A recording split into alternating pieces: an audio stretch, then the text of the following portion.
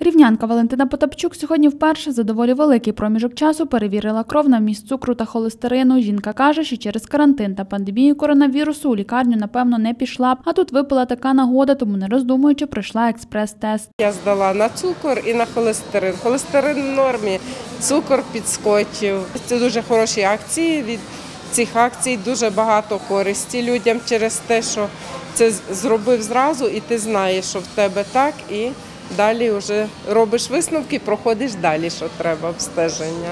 Ще одна учасниця акції Юлія перевіряє рівень цукру в крові ще півроку, адже її мама має з цим проблеми. Сьогодні жінка випадково натрапила на акцію, але як виявилось, не дарма показник цукру дещо завищений, тому тепер вона знає, що варто звернутись до лікаря. Просто я випадково пішла. От, а в мами просто проблема є з цукром, тому я вирішила здати.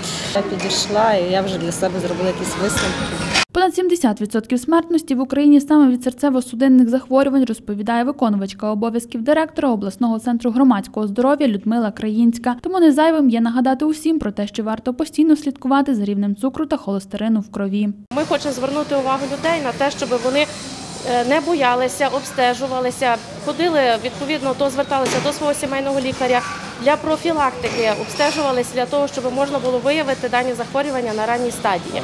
Проведення тесту займає лише кілька хвилин. а Результат рівняни могли побачити всього через 10-15 секунд. Глюкоза і холестерин вимірюються спеціальним апаратом. Береться капелька крові, воно йде по смужці і показує рівень холестерину і рівень крові на апараті самому. Результат.